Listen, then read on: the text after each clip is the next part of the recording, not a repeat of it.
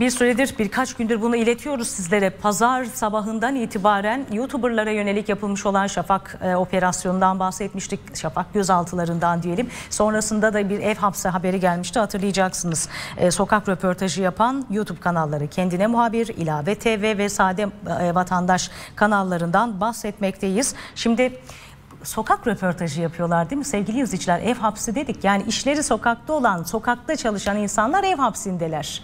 Böyle de bir durum var. Yapamıyorlar haliyle bu işlerini. E, Şafak baskınıyla gözaltına alınan e, o isimlerden Mehmet Koyuncu YouTuberlardan biri. Dedikleri önemli. Çünkü diyor ki kanal sahiplerinin taciz skandalıyla gündeme gelen AKP'li Mücahit Birinci hakkındaki paylaşımları nedeniyle gözaltına alındığını anlatıyor. Bir bakacağız.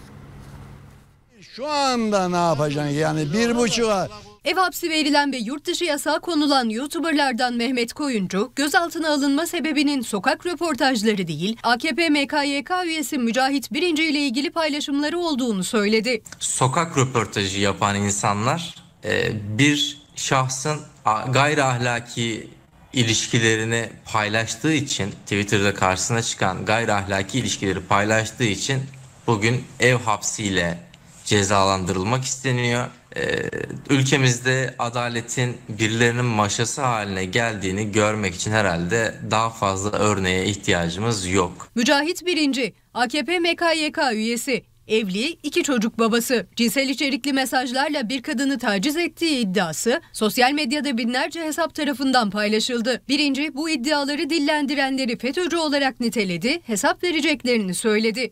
e, durumu siz bizden daha iyi biliyorsunuz. Siz toplumun içindesiniz her gün ama Ardından 3 YouTuber, İlave TV muhabiri Arif Kocabıyık, kendine muhabir Hasan Köksoy ve Sade Vatandaş programının muhabiri Mehmet Koyuncu, Şafak operasyonuyla gözaltına alındı.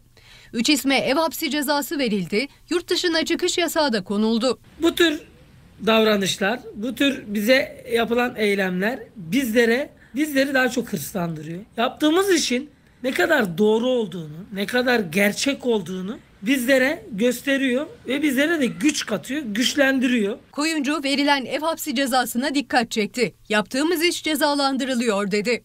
Çıkma diyorsun.